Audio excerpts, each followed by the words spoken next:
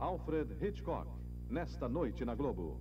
Pacto Sinistro, em Festival de Sucessos, hoje logo depois do Jornal da Globo.